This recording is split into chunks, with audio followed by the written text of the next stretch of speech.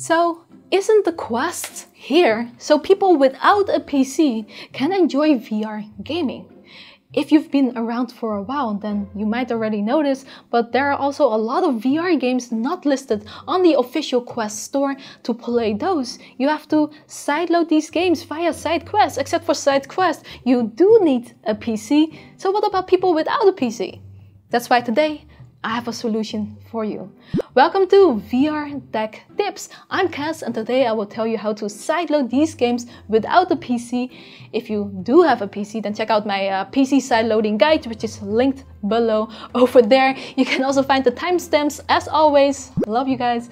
And uh, all links I mentioned in this guide will also be down there. So we're going to get started. But first, if you'd like to learn more about VR, get tips on things you may not even know of, or just want to stay up to date, then consider subscribing as that's a big support to us. And now join me beyond reality.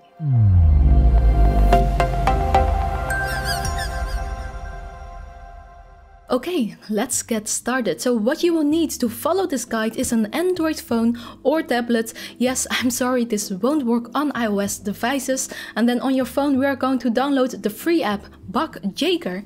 You will need your Quest 2, of course. And uh, lastly, you will need a USB cable that can go in your Quest and also in your phone. But I'm going to explain all this in this guide, so let's move on to step 1. Activate the developer mode on your phone. Okay, so I'm using the Samsung S10, so if you're using a different phone, your settings layout may look a little bit different, but this step should be universal on all Android phones. So first go to settings and scroll down to about phone, go to software information, then tap the build number seven times, a uh, pop-up will uh, count down for you. Now go back to the settings and find developer options. Scroll down here and make sure to turn on USB debugging. If you're on a Huawei phone, you may want to uh, turn on USB tethering first before enabling USB debugging. I'm on a Samsung, so let's move on to the next step. Step 2. Enable developer mode on your Quest. Okay, on your phone, open a browser and go to developer.oculus.com slash manage slash organizations slash create. Okay, sign in with the same Oculus or Facebook account you use with your Quest. You should then be uh, redirected back to the page that we just tried to open. If it didn't, just open the link again. Then you may also get asked to fill out your credit card or phone number to verify your Oculus developer account. This is an extra security added by Oculus not too long ago, I think a few months ago. Uh, but you won't be asked about this if you already filled this out. This is the case if you, for example, already bought Oculus games before. But in any case, create create an uh, organization here. This can be uh, any name you want.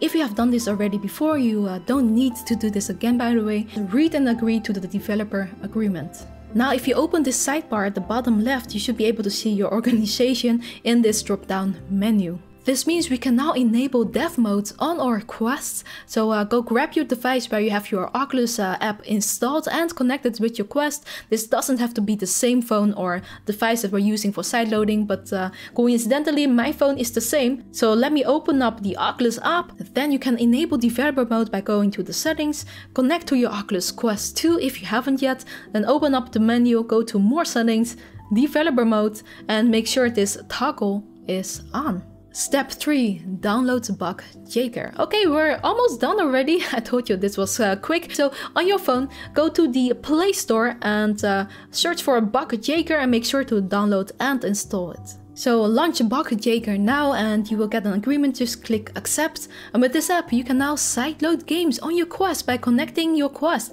directly to your phone. It's pretty cool. But be careful about accidentally clicking any of these uh, commands as they could mess up your phone. So if you don't know what ADB means or what these commands do, just uh, don't touch it. But you should be fine if you are only using it for a Quest sideloading. So my phone has a USB-C slot as well as the Quest has a USB-C slot. So I'm using a USB-C to USB-C cable. This is actually the cable that came in the box with the Quest 2.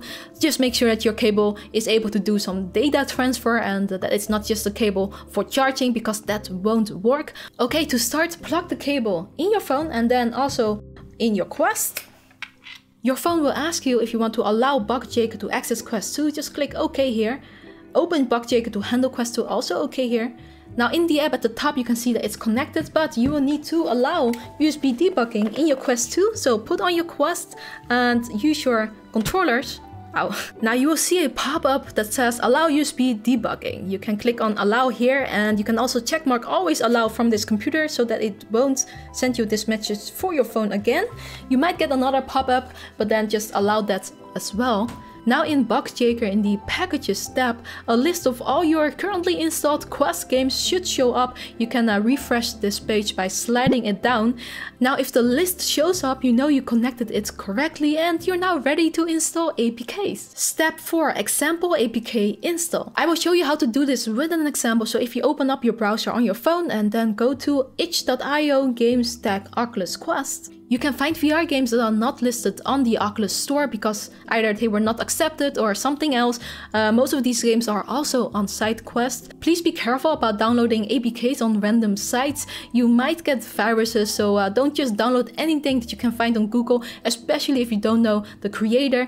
I also do not condone pirating VR games as it takes a ton of work for developers to make these games, and I think we should uh, support them a little. But some games are provided for free by the developers on itch.io. For example, Harvest VR. If you tap on it, you can find the download now button, click on that. Now itch.io will ask if you want to support the developer by donating money. You can do that, but you can also click on no thanks, just take me to the downloads. On this page, you can download the APK file on your phone. Just click download and download again. Now go back to Bugjaeger, click this button at the top right, make sure to select APK file, click OK, allow Bugjaeger to access your files, then find the, APK that you just downloaded, mine is in the downloads folder, I'll just tap it, and it will start installing the APK and will let you know once it's done. You can now remove the cable on your Quest and on your phone to be completely wireless. I do have a cable right here because I'm using the Elite Strap battery pack.